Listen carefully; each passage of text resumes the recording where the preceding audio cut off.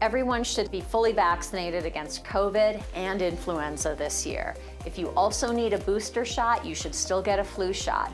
It is safe to get both your COVID vaccine, whether your initial series or booster, along with your flu vaccine. You can get them at the same time. Maybe just get them in different arms. It's expected during the fall and winter that we see a lot of respiratory viruses circulating, so it's very likely that we could see both influenza and COVID-19 circulating at the same time. And as people go indoors and they return back to school, that is more risk for spread and exposure. So a twindemic could happen.